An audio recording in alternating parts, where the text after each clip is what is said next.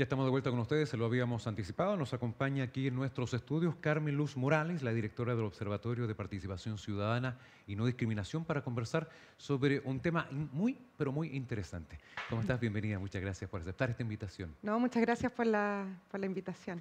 Primero, antes que entremos a, a- a conversar de este tema que nos convoca, ¿qué es el observatorio? ¿Mm? Cuéntame, observatorio. no miramos la- las estrellas. claro, observatorio, claro, por eso que hago, hago la bajada. Observatorio de Participación Ciudadana y No Discriminación. Sí, bueno, nosotros como observatorio somos una unidad dependiente del Ministerio Secretaría General de Gobierno. Ya, perfecto. Este ministerio la gente lo conoce tradicionalmente por su rol de vocería, Sí, ¿cierto? claro. Eh, nuestra ministra ahí, Camila Vallejos, comunicando los avances de gobierno, las contingencias a la ciudadanía.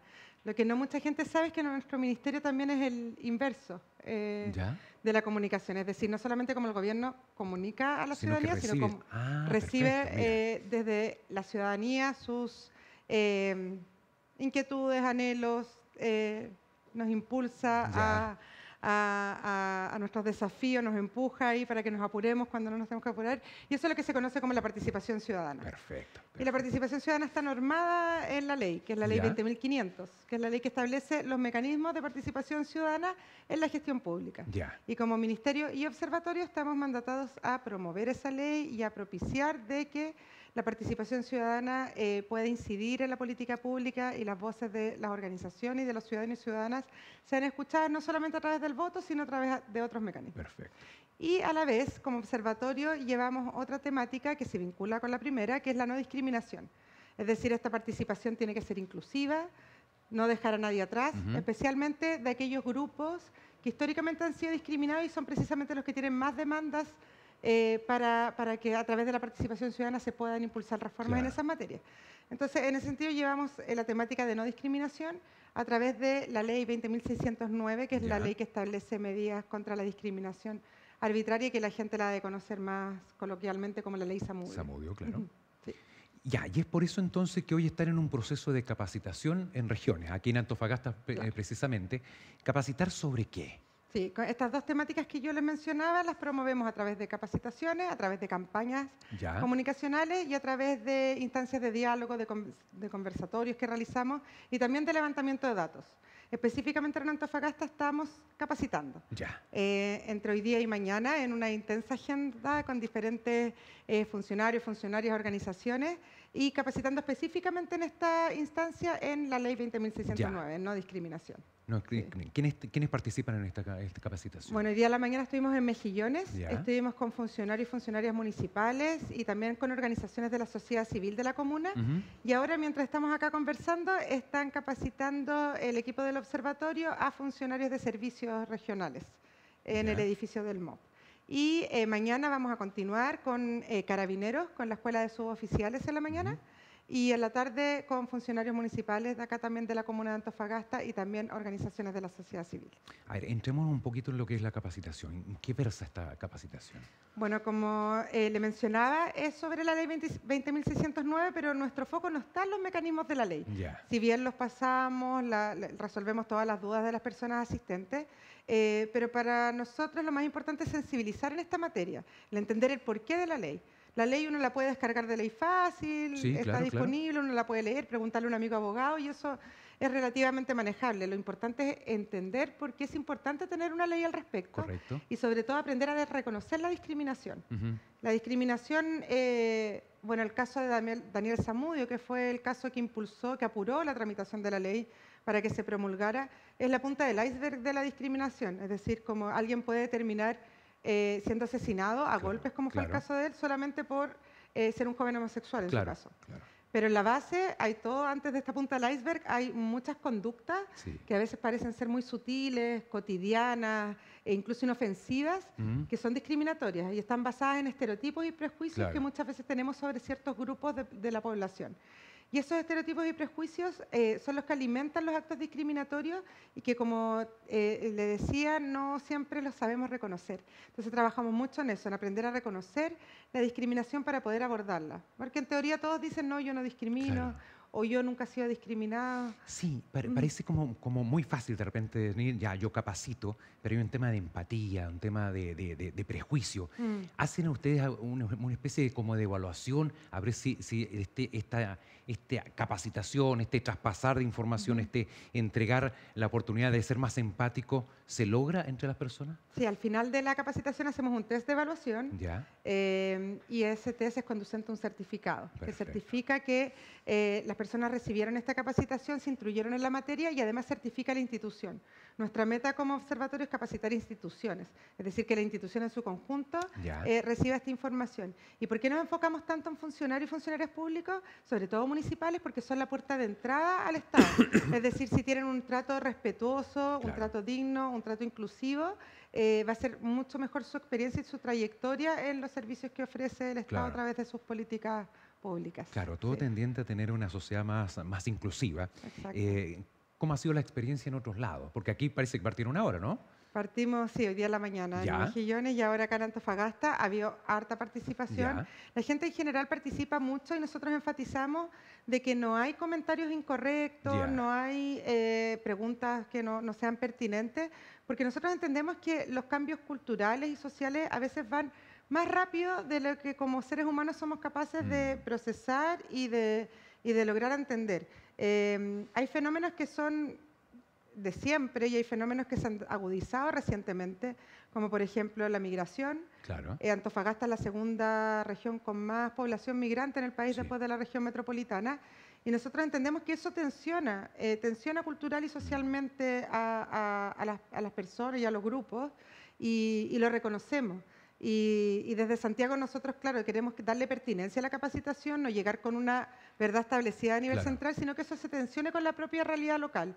Y nosotros ent- entendemos que en la realidad local se producen estos desafíos, pero lo importante es entender que cómo a veces los estereotipos y prejuicios alimentan eh, esta- estas conductas discriminatorias y, como te decía recién, poder reconocerlas para abordarlas y que estos cambios, que son al final culturales, se puedan ir desarrollando y ahí nosotros aportar en aquella línea. Perfecto. Ujú. Por parte del observatorio, ¿hay alguna otra eh, iniciativa a nivel general? No, Ujú. no tanto funcionarios, sino que la población en general. Claro, ahí tenemos las campañas comunicacionales. Perfecto. Tenemos dos campañas co- comunicacionales que son medidas que tenemos comprometidas en el Plan Nacional de Derechos Humanos.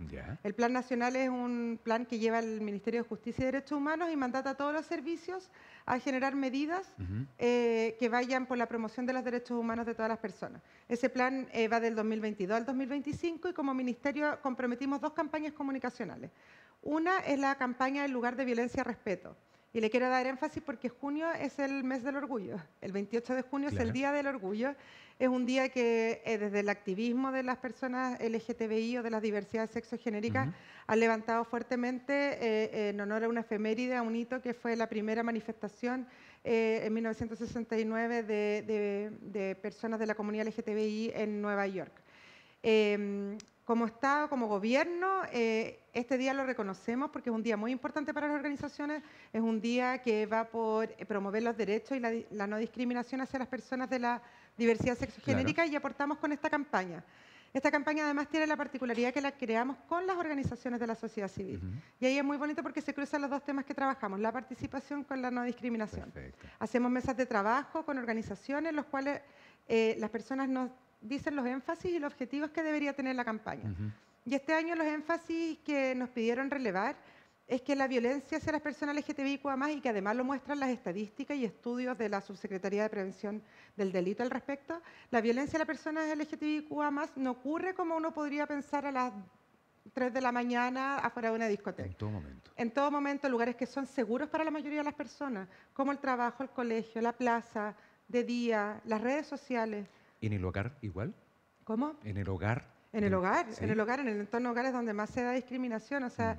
eh, Lo que eh, pasa es que el- quizá a lo mejor no, no es denunciado, no es visibilizado. Exactamente. Mm. Pero ocurre. Y precisamente el llamado es a que todos y todas tenemos el deber de detener estos actos de violencia cuando ocurren. Claro. Eh, además, por supuesto que hay canales de denuncia. Somos la misma comunidad los que estamos llamados a detenerlo y si somos testigos también a denunciarlo. Va muy en la línea de otras campañas de gobierno que no sé si las pudieron ver acá, que lanzó el Ministerio de la Mujer de la Familia Miranda, en conjunto con el Ministerio de Transporte, que es decir, si somos testigos tenemos que actuar, no tenemos que mirar hacia al lado. Todos estamos llamados a proteger y a detener aquellos actos discriminatorios. Hay una estadística que en los lugares públicos son los donde se produce mayor discriminación, luego las redes sociales, en el hogar, en el barrio, en el transporte público, recinto educativo y espacios comerciales. Exactamente. ¿Cómo hemos estado en relación al tiempo? ¿Hemos ido avanzando? ¿Ha, ido disminuyendo la discriminación? Mira, hemos ido avanzando eh, en el sentido de que, eh, de hecho, estar hablando hoy día en este programa, esta temática es algo que hubiera sido impensado de, décadas atrás. Em, hace poco un estudio del Móvil, que es una de las organizaciones más importantes en materia de derechos de las personas de la diversidad, eh, sus últimos estudios mostraron que eh, ha aumentado considerablemente el número de denuncias eh, por la ley de antidiscriminación.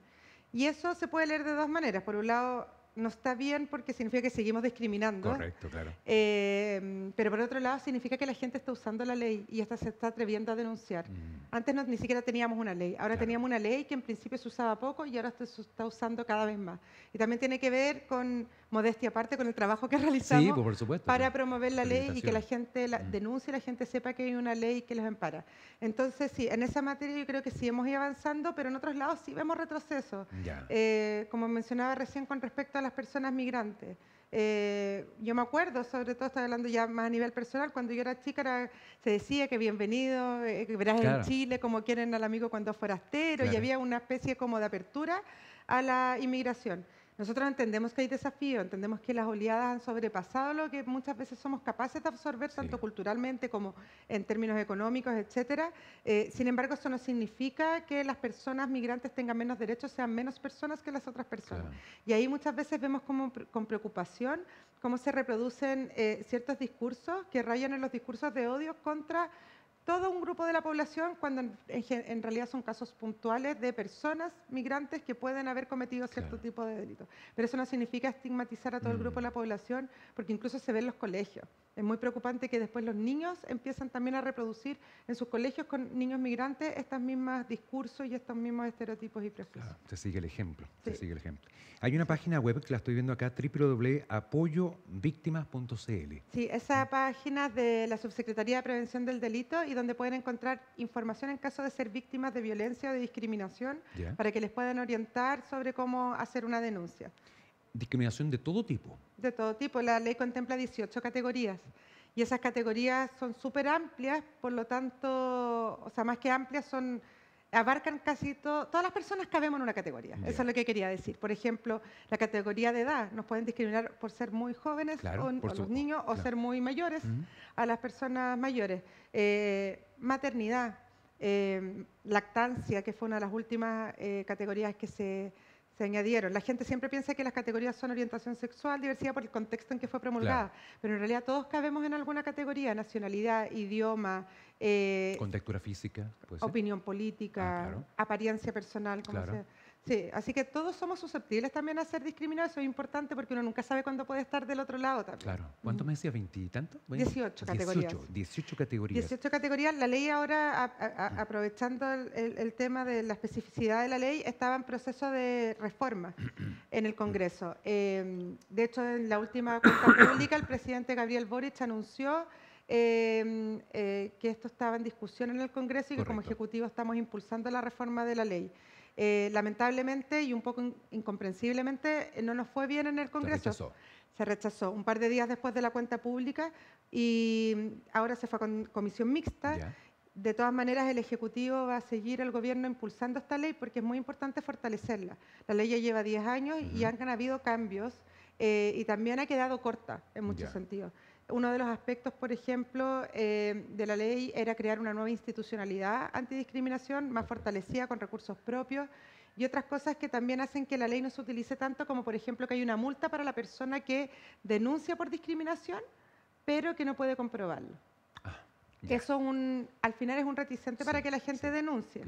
Eh, de todas maneras, la jurisprudencia indica, para que la gente no tenga susto, que casi ningún juez ha fallado aquello. Es decir, se- se- eh, la, Siempre la se denuncia comprueba. se cae alto por falta Claro, de prueba y no llega a la, a la fase final. Eh, pero si son cosas que hay que mejorar, también que la multa no vaya a beneficio fiscal, sino a beneficio de la víctima. Eh, también que la carga de la prueba la tenga la persona que discriminó y no la persona discriminada, porque actualmente es muy difícil probar discriminación. Claro. Entre otras cosas, entonces esperamos que nuestros parlamentarios puedan entender que esta ley, al final, como le decía recién, protege casi todas las personas, porque Claro. todos estamos en alguna categoría de ser susceptibles de discriminación. ¿Estas eh, capacitaciones van a seguir en el transcurso del tiempo? Eh, acá en la región, Sí, o eh, en la región centro, hoy día sí. y mañana, ¿Ya? Eh, y desde, desde nuestro observatorio estamos todo el año capacitando. Ya. Tenemos metas bien ambiciosas para capacitar. El año pasado, por ejemplo, capacitamos a 5.600 funcionarios y bien. Y, y lo importante también, relevo aquello, es que las hacemos todas presenciales, sincrónicas Ya. o telemáticas, pero siempre sincrónicas, porque Ya. lo que queremos precisamente es dialogar, es reflexionar en Claro. conjunto. Sería más fácil para nosotros tener un e-learning, una plataforma online y Claro. así cumplir con nuestras metas, pero nosotros queremos dar- hacer ese diálogo y esa reflexión colectiva Porque es en un torno a estos temas. aprendizaje también. Exactamente, claro. sí. Mm, Y además que tiene una pertinencia, como le decía, en cada territorio. claro. No es diferente cómo se vive la Mm, sí. en sectores rurales, en comunas acá del norte, con Santiago. Entonces Mm. nos gusta esa pertinencia de darle a, la- a cada capacitación en cada lugar donde vamos. Carmen Luz, mucho éxito. ¿ah? Que les vaya Muchas pero muy, gracias. muy bien. ¿m? Gracias por la invitación. Que esté muy bien. Hasta luego. Carmen Luz Morales, directora del Observatorio de Participación Ciudadana y No Discriminación, nos acompañó en estos instantes en la entrevista. Pausa y seguimos con más informaciones.